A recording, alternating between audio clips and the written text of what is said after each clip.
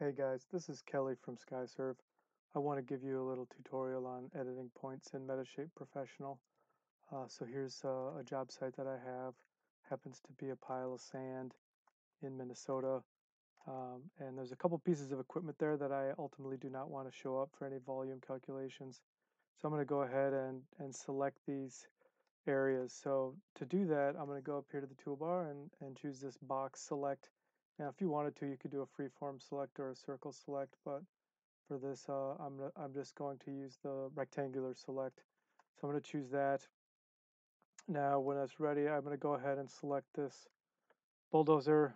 I'm going to hold control down and select this other crane. It's kind of a yarder type machine. And I'm going to go up here to Tools, Dense Cloud, and then Filter by Selection. Filter by Selection will allow you to, you know, not delete out any points at this time but basically it just filters out. Um, so you're just going to see that equipment right there, and it's going to be much easier for you to delete what you don't want to see and leave uh, any existing ground there.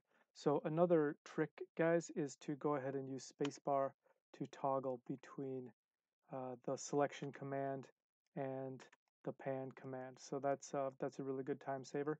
So I'm going to focus on this bulldozer at first. Uh, one thing I could do is go ahead and turn off my shapes, and I can do that right here, toggle the shapes off. I don't want that to interfere with my selection. I'm going to zoom in on this bulldozer here, and uh, you know maybe just right from the top, leave it on my rectangle select. Uh, remember, hit spacebar. Uh, I'm going to go ahead and kind of take this out piece by piece so we can kind of see what it's doing. So I'm going to go ahead and delete that out. Now I can pan to the side. You can see there's still a little bit of artifacting from that, so I'm going to go ahead and delete that, delete that.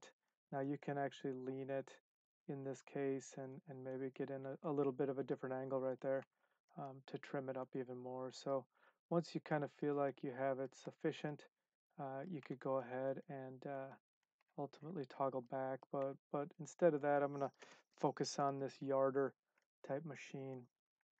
To start deleting that out. So uh, I forgot to hit spacebar there, guys. So uh, my bad. I'm going to go ahead and select that delete that out. Now I'm getting pretty good here, but basically I can see the freeform select might be a good tool to use for the rest of this. So I'm going to go here, freeform select, and then I'll just draw around the bottom side of this machine. Uh, go ahead and delete it, and then I can pan around and kind of get any other any other little pieces of this. Here's the track for that machine. Um, there you go. There you go. So you can see it's fairly labor intensive to do this, but I do not think on a site that's as complicated as a gravel pit like this with these kind of slopes, I do not think any of the automated tasks are going to work sufficient for this site. There's just too much going on and there's too much uh, uh, slope in most cases where you're going to end up filtering out a lot of the actual gravel pit. And then once you're done with that, you can actually go up here to dense cloud, filter by selection, and then you can just uh, reset the filter. Boom. Do you want to reset it? Of course. Uh, and then that brings it back and it's much more cleaned up at this point and you should be able to uh, find value from this tutorial. And if you did, please uh, hit that like button, uh, subscribe to my channel, and then post any and all questions below.